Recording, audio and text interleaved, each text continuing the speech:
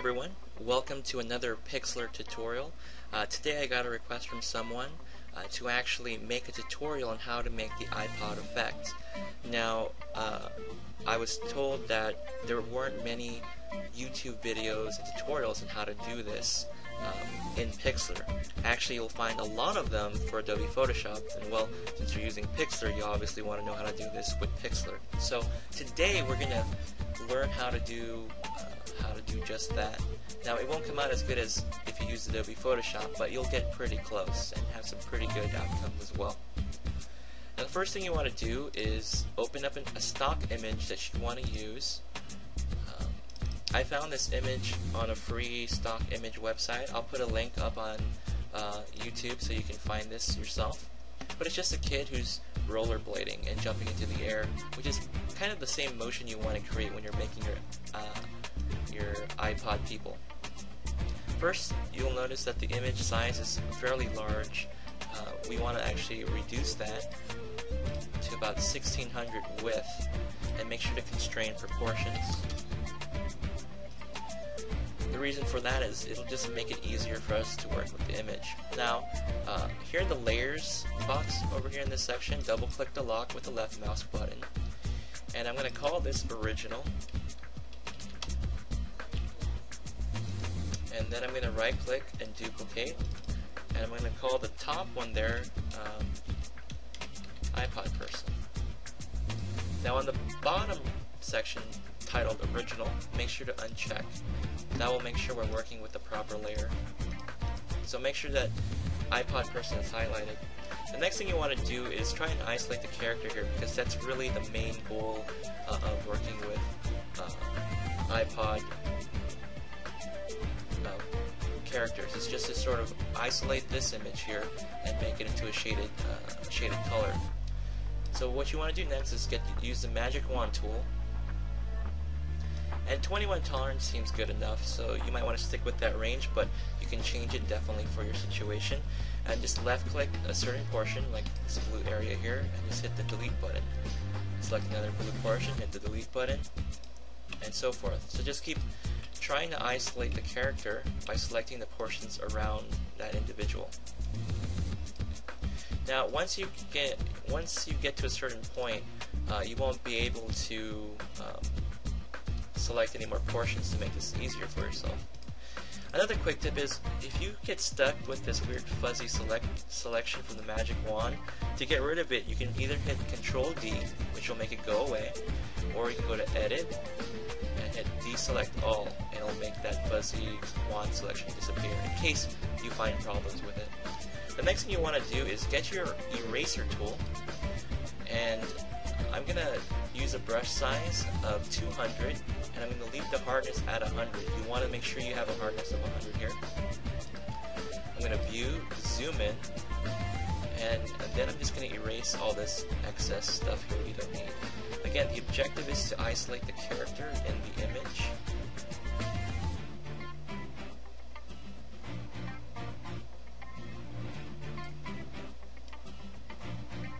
Just want to let you guys know that uh, this is almost the fifth time that I've tried doing this tutorial and uh, um, it's been a rather painstaking experience because Pixlr keeps crashing on me for some reason.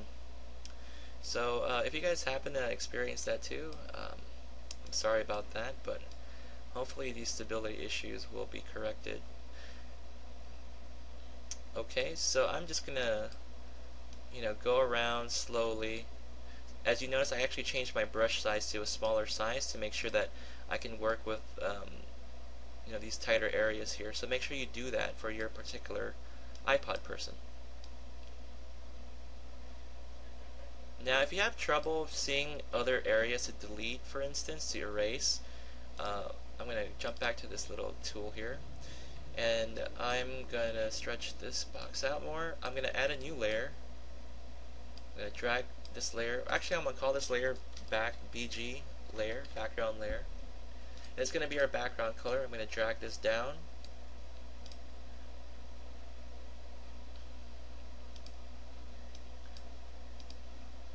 and I'm going to make um, both the foreground and the background color white for this moment.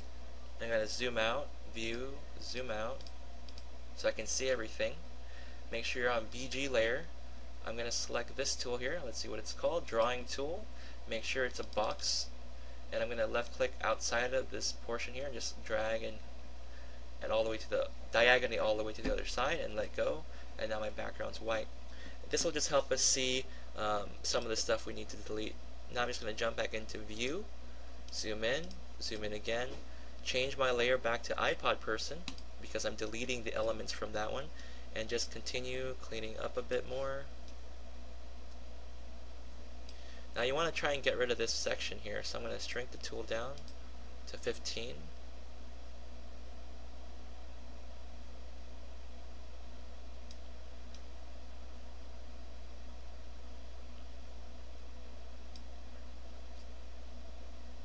Okay, now I'm not going to spend too much time on this, but one thing for sure, one thing is for sure, the longer you spend uh, making this look cleaner, the better your image will look.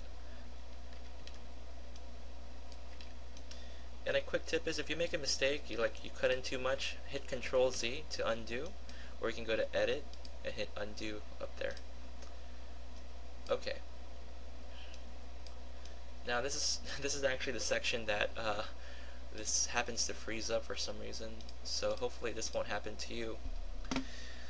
The next thing you want to do is make sure you have iPod person selected, go into adjustment, go into levels, and what we're going to do is make our character completely dark and make it into a black color. And then we're going to click OK. So all I did was I moved this white marker here, left click, held it, and moved it all the way to the very end. And now it darkened the entire image. So the next thing is I'm going to take the magic wand tool. I'm going to click on this black portion and it's going to highlight everything now. While you're doing this, you have a couple of options and it, you might want to do this at this point because if later you do it, it may not work for some weird reason. Uh, go to your gradient tool and this is this is the design I did. I uh, I'm going to use the gradient tool, click on that, click on the gradient option here. I'm going to use this tool here because it has that apple color look, this old style. And I'm going to click on the image, left click and hold the mouse and just drag. You see how that line appears? That's going to create the direction of the gradient and then I'm going to let go. And there you have it. There you have that cool effect. You can also change the direction if you go left to right. You can do other types. So I'm going to leave it like this. Uh, you'll notice that only the inside of the selection is actually getting colored, and that's how the, the selection tool works. Only that particular area that's been selected will be modified. Okay, now that you've done that, I think I can press the enter button. Well, that doesn't work either. So at this point, what you want to do is actually press Control X, or in this case, cut. So I'm going to go to Edit, Cut, and it's going to cut away my image. And you'll notice that there's this weird, um, sp these speckles here that are left behind. What I'm going to do next is I'm going to create a new layer. Actually, that won't matter. so, this is the iPod person layer. It has this weird little uh, spray painted look. I'm just going to delete that. I'm going to send it to the trash can, and it's gone. Um, when we hit the Control X button or we went Edit Cut, we took that center portion away, the, the iPod person. Now what we want to do is paste it. You see? Now we have a, a clean, a much more clean version of the iPod person uh, from that mess that we had prior. The next thing you want to do is change the background color. In my particular design, and you can do this another way, I'm going to turn my background into black. So I'm I click on my background layer. I'm going to change the foreground and the background into black. Then I'm going to click my paint bucket tool and I'm just going to left click into the screen and it turns black, which looks pretty good. The next thing you want to do is add some uh, text. Now make sure to click back on the topmost layer and you can rename this again. Call this iPod person. Again, uh, naming your layers is always a good thing. Then click on the text tool. This will create a new layer once you click on the screen. There you have it. I'm going to call this iPixlr. I'm going to change the size to the max. I'm going to change the color to white. Uh, depending on what types of fonts you have on your computer, you can pick some good ones. Uh, I'm going to use uh, this one here, iPixlr. Looks pretty cool so far. I'm also going to add another thing here, which is sort of the catchphrase. I'm going to say it's only image editing, but we like it. I'm going to change this to white. Make the size a little bit bigger.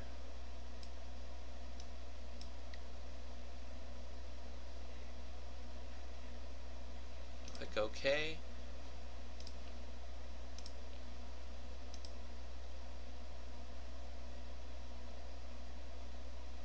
Actually, I'm going to change it to that one because that looks a little cooler.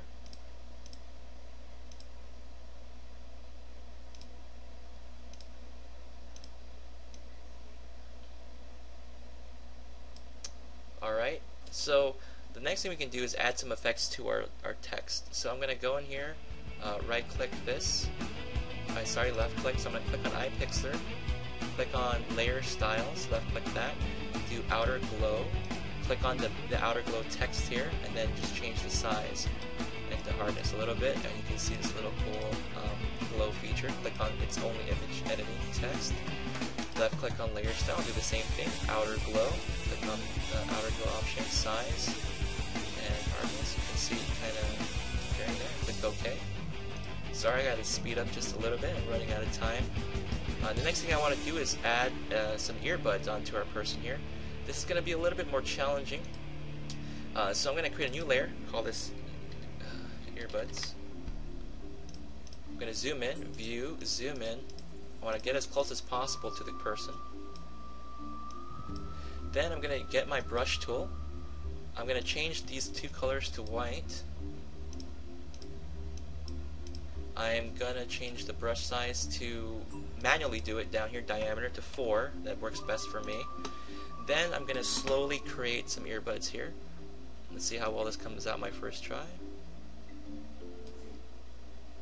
Obviously you kind of want to make it seem it's coming out from their ears. And then I'm going to sort of drag it in, make it look like it's going up to their hand. Pretty cool. At this point I would stop, um, but now we can also do one more thing. I'm going to create a new layer, create an iPod. Now, uh, you can probably find a stock image of an iPod somewhere and design this yourself, but I'm going to make one right now. I'm going to click on the drawing tool. I'm going to change the layer to a, rounded rectangle tool. So this drawing tool, rect rounded rectangle tool. Uh, make an iPod shape here. Make it white. Then I'm to change this outline to black.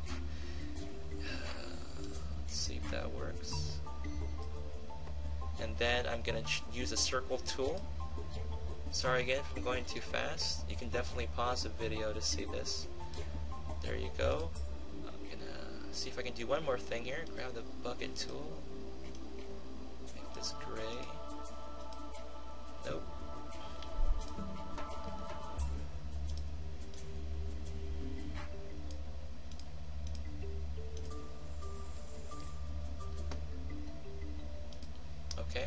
I guess I'm just going to leave it as this. So now what you want to do is you have your iPod layer here and just drag your iPod into place. And there you have it. So I'm going to zoom out, view, zoom out. And there you go. You have your iPod person. Um, and you learned a little couple you learned a couple cool things about uh, layer styles as well. So I hope you guys enjoyed the the tutorial. If you have any questions, please drop some comments.